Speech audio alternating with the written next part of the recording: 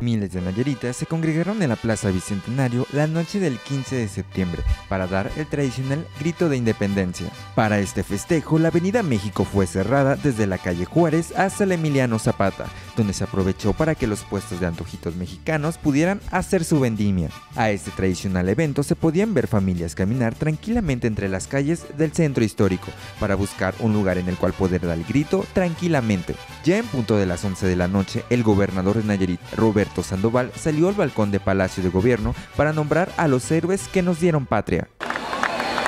¡Vivan los héroes que nos dieron